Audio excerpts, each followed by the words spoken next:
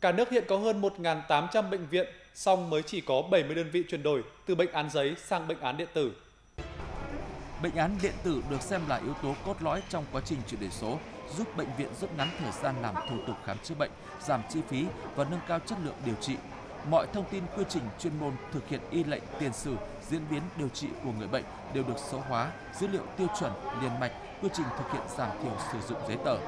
Thông tư 46 năm 2018 của Bộ Y tế quy định các bệnh viện phải hoàn thành bệnh án điện tử từ ngày 31 tháng 12 năm 2003. Tuy nhiên, kết quả đánh giá mới đây cho thấy việc chuyển đổi từ bệnh án giấy sang bệnh án điện tử tại các cơ sở y tế còn rất chậm. Theo thống kê của Bộ Y tế, hiện cả nước mới chỉ có 70 bệnh viện chuyển đổi từ bệnh án giấy sang bệnh án điện tử. Đáng chú ý, chưa có bệnh viện hạng đặc biệt nào thực hiện chuyển đổi này.